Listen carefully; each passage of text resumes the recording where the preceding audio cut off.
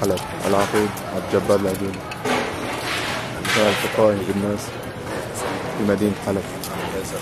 بالقرب من مشفى دار الشفاء التي طالها الطيران الأسدي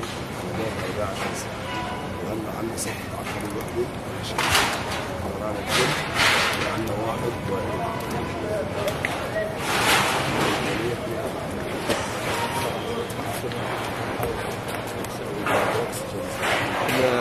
واحد رفعت رفع شيل الصعب مثلا يوم ما تروح الله يجزيك خير هلا بشوف. إن شاء الله. في في تركس بس موجود في الريف الشمالي. شلون بنلاقي له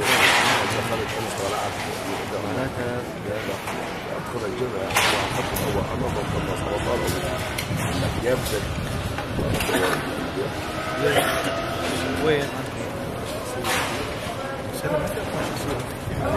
وين؟ هذه حاجة زحمه قبل كان طفل واخذين فصيح استريح بس وين في تلبس؟